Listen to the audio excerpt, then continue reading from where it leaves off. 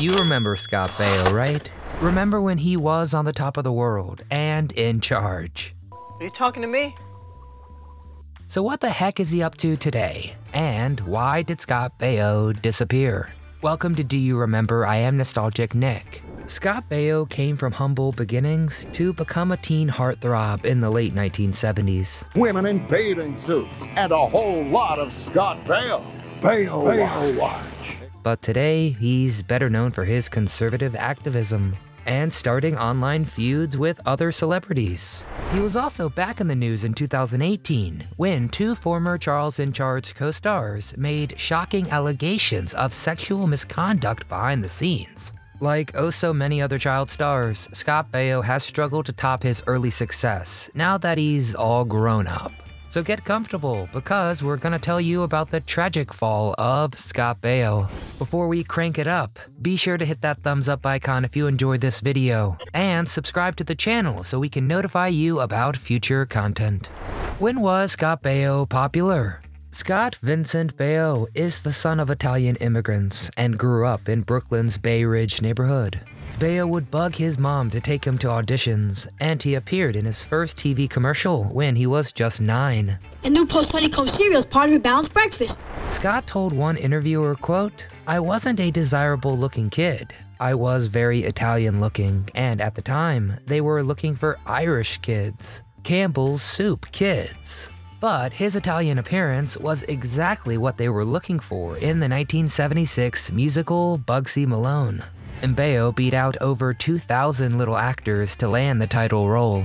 Paramount only gave the film a limited US release, but it was highly successful overseas, and Baio's stock shot way up. Later that same year, he became a household name as Fonzie's cousin Chachi on Happy Days. How you doing, Blue Eyes? What are you selling today, shrimp? Did Chachi really love Joni? During his time on Happy Days, Baio received over 5,000 fan letters a week, two Daytime Emmy nominations, and his own spin-off in 1982. Joni Loves Chachi co-starred Erin Moran, and the two actors also had a four-year-long relationship behind the scenes. The spin-off actually tied Three's Company for fourth in the Nielsen ratings during its first season, but dropped to 70th place that following year. So ABC pulled the plug, and the actors returned to their regular duties on Happy Days. Unfortunately, Erin Moran struggled with depression and had difficulty finding more work after the series ended. She also had severe financial difficulties and was forced to move in with her mother in law in Indiana after her home was foreclosed in 2010. When she passed in 2017 at the age of 56, the Daily Mail reported her death as, quote, a suspected heroin overdose based on an anonymous tip. During a radio interview on The Bernie and Sid show two days later, Baio said he was shocked and saddened to learn of Moran's death, and then proceeded to say he wasn't surprised.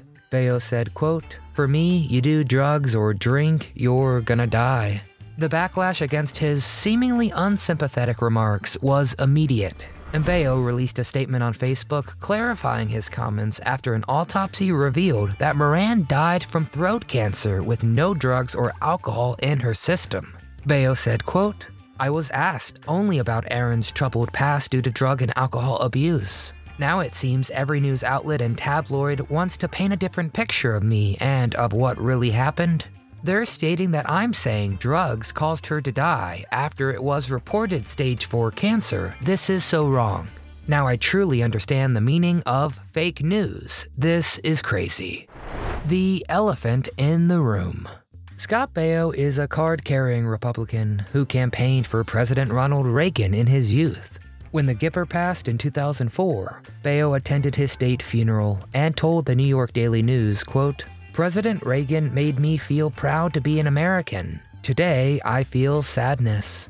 Baio also endorsed Mitt Romney in 2012 and spoke on opening night of the 2016 Republican National Convention in support of Trump.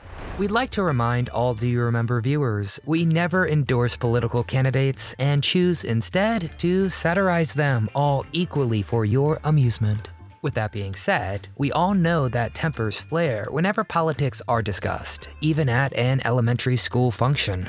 On December 15, 2016, Baio filed a police report accusing Nancy Mack, the wife of Red Hot Chili Pepper Chad Smith, of physically assaulting him while they were picking up their children. Baio claimed Mack began berating and cursing him over his support of former President Trump, and then began to shake and push him. Mack claimed she was trying to show Baio how the former president hugs women and denied any intentional physical aggression.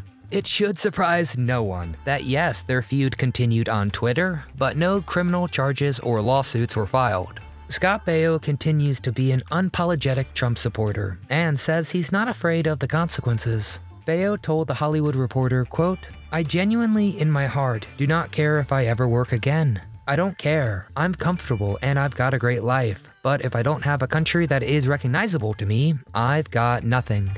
Is Scott Baio racist? It would be virtually impossible to pick Scott Baio's most controversial take. But the actor received death threats in 2010 after making a joke at then First Lady Michelle Obama's expense. The tweet was deleted soon after the initial backlash, but reportedly included a less than flattering photo of the president and first lady with the caption, quote, Wow, he wakes up to this every morning. Baio's Twitter timeline was soon flooded with responses calling Scott racist.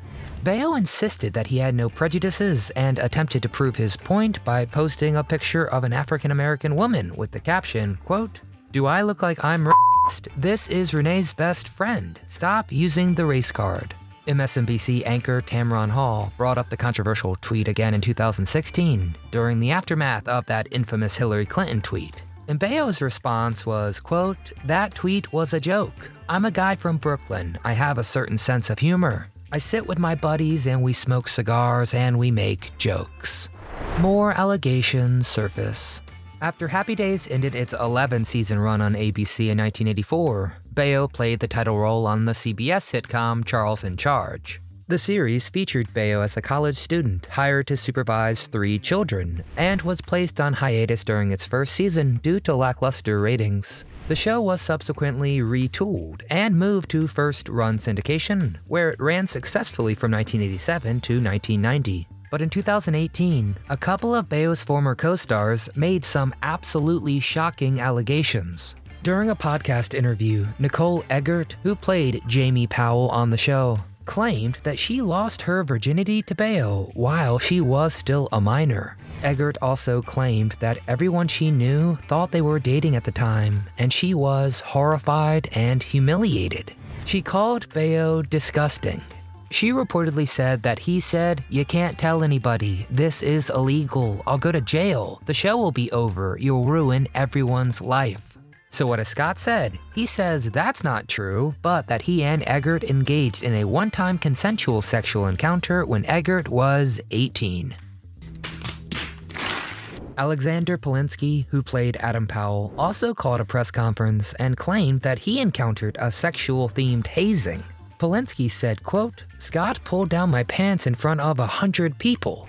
Another time, he laughed as he cut a hole in the canvas wall of my private dressing room on set and exposed his genitals to me. Both Eggert and Polinsky asked for a public apology, but the Los Angeles County District Attorney's Office declined to bring charges against Baio, citing an expired statute of limitations.